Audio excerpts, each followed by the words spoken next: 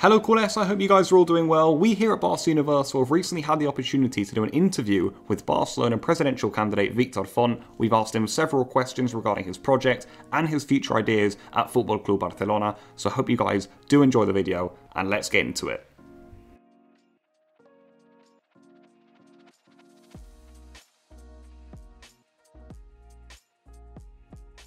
A bit of a roller coaster, right? we started uh, after obviously the end of last season, which was extremely disappointing, and the whole very difficult summer that all the fans uh, we've gone through with the Messi affair and everything.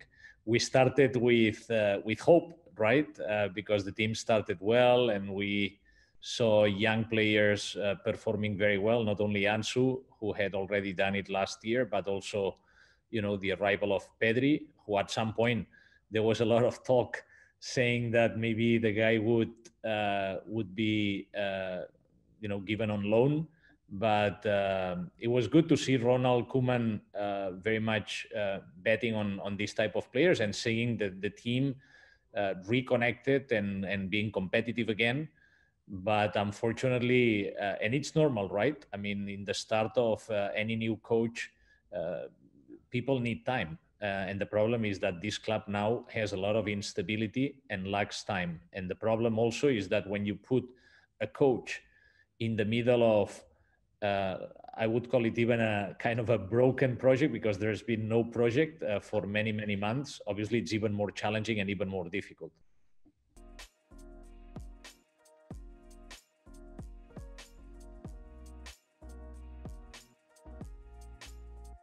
Well, lack of project, lack of leadership, lack of uh, the new ideas that are required to compete in the 21st century in a in a very changing world.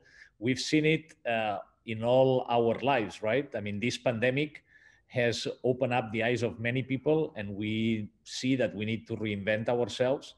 So also the club, uh, and unfortunately, the club has missed proper leadership and a proper vision for for quite some time now and that basically is affecting the different areas of the club. It affects the sports uh, the lack of a sports project affects the teams and affects our level of uh, uh, uh competitiveness. Uh, it obviously affects it has affected the economy because we've made bad choices and bad decisions where we've made huge investments that have not generated any returns. We've had even institutional problems like uh, the Bartu Gate, uh, you know, uh, using uh, money from us, the members, uh, to uh, to go against some people in the environment and in the around the club. So unfortunately, that has created a lot of instability, right?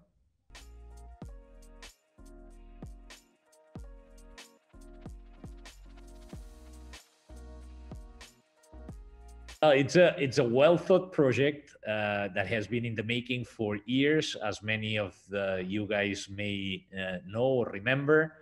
Uh, this is the only way that I believe projects can be successful when they are properly thought, and most importantly, when you spend time thinking about the people that need to be part of it. Uh, many of you, all of us, have projects in our lives, be it you know our families are personal projects. Uh, whatever we do in our professional life are uh, our professional projects. With friends sometimes you know we we do stuff as well. And it everything ends up relying on the people. Uh, people uh, are the ones that make uh, projects uh, successful. And that's what we've been doing. And with one sole intention which is that as i was saying before in the 21st century we need to take the club to the 21st century we need to uh, do structural changes to the club and bring new ideas. New ideas such as putting the soci, the member, in the middle of the club. Listen more to the members. Uh, make them even decide some, uh, you know, uh, issues that affect uh, the uh, symbology of the club. if we want to change the name of a, of a stadium or of a facility, why would uh, this be uh, decided by the board itself and why not by the members? Why can't we ask Nike to give us three options for our first team kit next year and we are the ones deciding about this? This is the beauty of having a club which is owned by 150,000 people, right? That we should not be just asked our opinion once every six years whenever there are elections. We should be able to participate more often and make sure that the board listens uh, to us uh, and explains to us what's the reality. This also means changing the governance of the club. We have, uh, you know, the assemblies that are not representatives of uh, of the members, mm-hmm. uh, and they, uh, you know, they are executed poorly by whomever is on the board to somehow control the reality. We need to change this. We want to change the mandates and reduce them from six years to four years. We want to remove the bank guarantees so that any member who has the right experience can become a board member. Uh, we want to uh, instill a, a, very innovative um, uh, business model that will allow us to monetize millions of funds we have around the world. This is the best way if we also do a proper management of the expenses to generate uh, excess funds and be able to renew our stadium uh, to ensure that we put more money into the sports teams and we are competitive and most importantly that we protect the ownership structure. We want to make sure that women who are very relevant in our society and also in barcelona because more than one quarter of our members are women that they take relevant positions in the club not only in our sports project but also in the board and in the executive uh, responsibilities. Uh, we want to make sure that uh, we have a stadium which is full again of members and not just uh, you know uh, people that do not belong uh, necessarily to the club and so on and so on and so on so it's a set of new ideas and most importantly as i said being implemented and executed by the ones that know the best or know the most about each area of the club we want sports uh, decisions to be taken by the guys that know most about uh, each sport. We want business decisions taken by the best possible uh, executives uh, in the world. And we want a board that has the right experience to be able to supervise everything, right? So those are quite, uh, you know, ambitious changes to the way the club has worked uh, until recently. Time to start afresh time for a new beginning.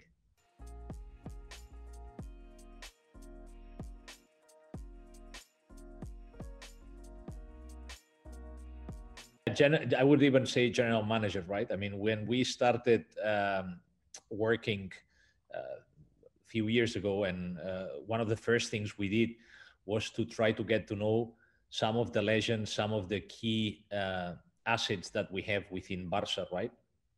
People mm-hmm. that have played a role in the club in the past, be it uh, former players, former uh, board members, uh, former executives, so that we could understand who can take which role and responsibility in this very ambitious project. And in the sports, uh, on the sports side and in football, obviously we got to know a number of uh, of these um, uh, legends, and we ended up concluding that Xavi is a very unique person, someone who can take different roles and responsibilities outside of the pitch. He can obviously be, I'm sure he's going to be the best coach in the world, but beyond that, he can, uh, you know, uh, take different leadership roles uh, within a sports project. Why? Because he carries uh, leadership uh, skills. Uh, he's very good at managing teams. He's good at communicating, at assembling teams at making sure that teams perform uh, well together. He also loves the club. He knows the club uh, mm-hmm. inside out. Uh, he's been uh, he just today. I just read that 120 uh, journalists uh, by France Football have selected him as the best uh, midfielder in the history of our sport. So imagine the type of asset that Xavi is, right? So we can what we cannot afford is what has happened with Pep that he stayed with us for four years. He loves the club. He's a culé. He's a huge Barca fan. But uh, after his last uh, contract, which has been renewed now at Manchester City, he's going to be uh, end up being seven years with Manchester City, and with us, it was only four, right? So we need to create the right conditions for Xavi, who is such a unique uh, asset uh, of the club, to be able to stay a long time working for for Barca.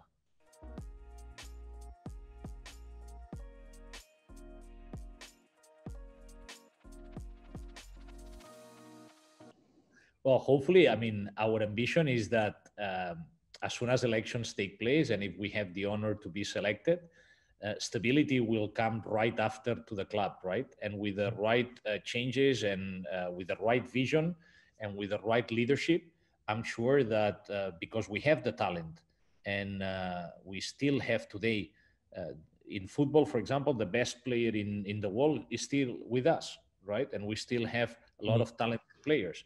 So by bringing the right leadership, the right vision, I'm sure that we'll uh, become competitive again. And then all the work and this leadership and this vision needs to help us do the final phase of transition from this very unique um, set of players that have brought to us the best years uh, in our history with lots of uh, silverware uh, to ensure that we transition into a new era where we remain competitive. That's our goal to keep the mm-hmm. club in the hands of its members and to continue competitive, hopefully winning uh, many more Champions Leagues in the years to come.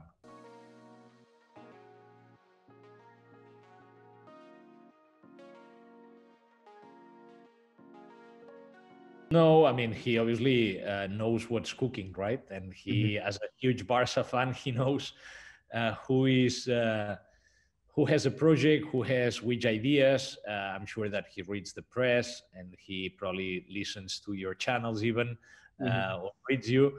Uh, so yeah, I mean the intention is uh, the the sports organization that we've built uh, would like to obviously retain the best player in the world, who is Messi.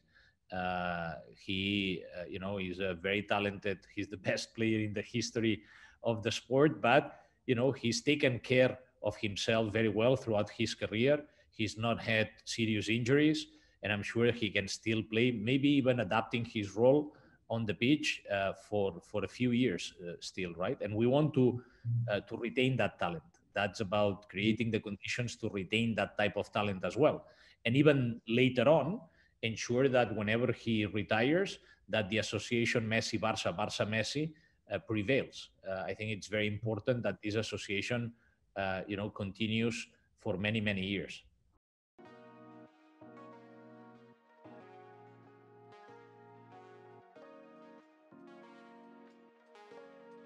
that allows me to, to, to stress one of the changes that we want to implement, right? Which is this type of decision should mm-hmm. be made uh, not by a football fan like myself, uh, but by the sports organization. If you have the right sports organization with the right uh, mm. expertise, with the right vision, with the right talent, they should be empowered to make such calls. Obviously, me as president needs to uh, you know validate any decision that is made there to ensure that you know I can make the right questions and make sure that everything that uh, is proposed makes sense. Mm-hmm. But the ones that know, the ones that should call these type of shots should be the, the guys that uh, that know the the best uh, about in this case about our football project. Yeah, because when you have when you have a president who is just a football fan or board members who are business people that do not know uh, do not belong to the professional world of football uh, you know allowing allowing them to make signings to uh, dismiss people to fire people it's a very dangerous thing. But that's how the model has worked until now and that's why we say 21st century, new beginning. We need new ideas, a new way of doing things.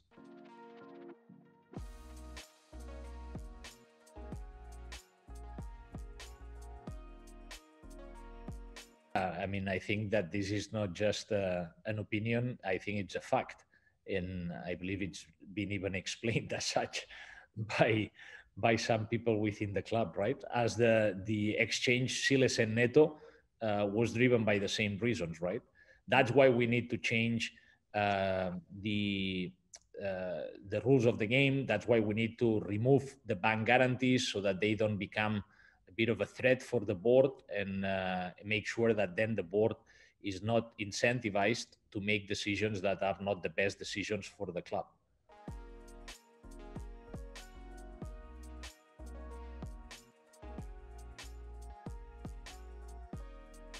We have uh, the plan has two phases, right? We have a, a very um, relevant short-term restructuring plan.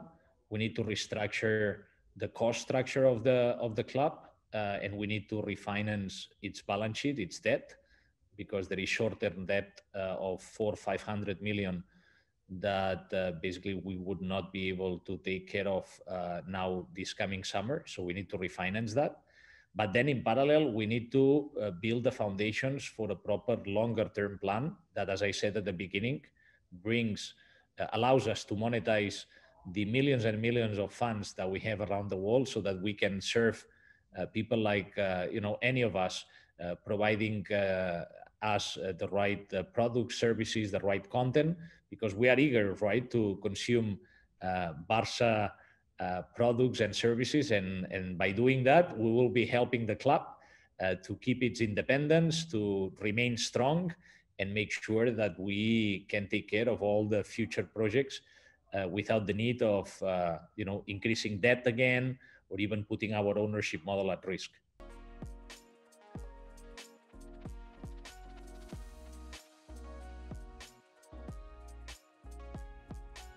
It's the lack of, of, a, of a sports project with the right vision, right? Uh, what has created all these problems.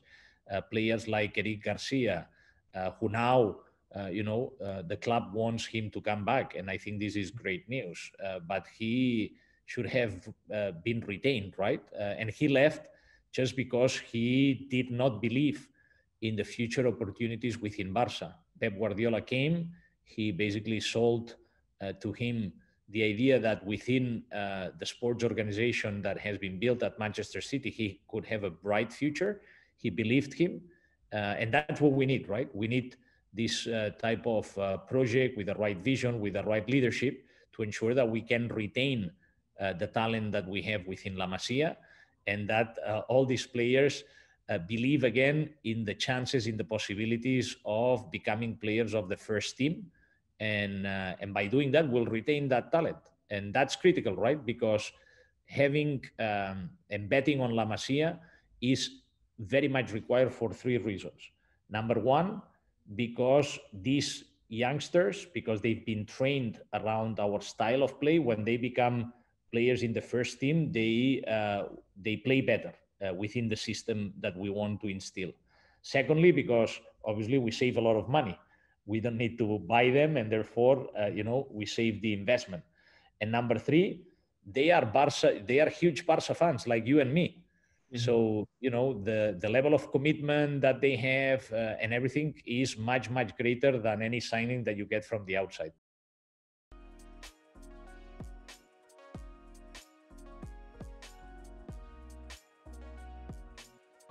will in the next uh, days and weeks. Uh, but uh, but yeah, obviously, I mean that's the work we've been doing, right? To try to understand the type of talent we have within the club. Uh, some of them are legends, and uh, when I met them for the first time, I was even shaking myself. Yeah. But uh, you know, that's the type of investment that one needs to make.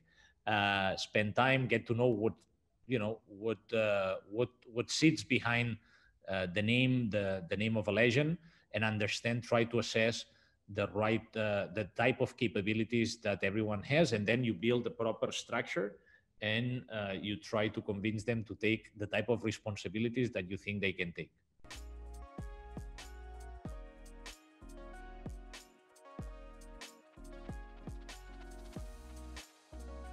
always i mean uh, we need to be uh, optimists uh, the future belongs to the optimists uh, and I'm an optimist myself. Mm-hmm. And as I said the, uh, before, the good news is that at the end of January, uh, the new beginning uh, starts. Uh, and it's, uh, you know, at that point in time, we will still have not played against PSG in the in the Champions League. Mm. Um, we we still will be alive for sure in the in La Liga, and hopefully in a better position than today. Mm-hmm. uh, and uh, the cup is also up for grabs, right? Mm-hmm. So providing the right instability with the right uh, leadership, have no doubt that we'll have our chances.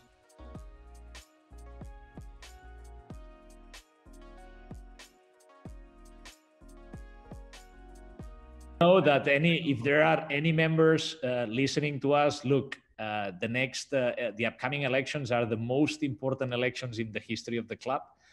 If you are members or you, and I know that uh, there's many uh, fans reading your channel and listening to your channel, but now it is important that we uh, that this uh, information reaches the members because the future of the club is in the hands of the members. So hopefully, uh, you know, everyone will understand that uh, the future depends on uh, on uh, on new ideas, on on new people, on uh, on a new beginning. Uh, the future is bright, but we need to decide well.